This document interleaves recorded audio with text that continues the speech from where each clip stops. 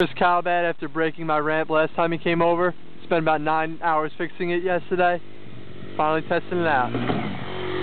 Wait, wait, wait, wait, wait, wait, wait, wait, wait, wait.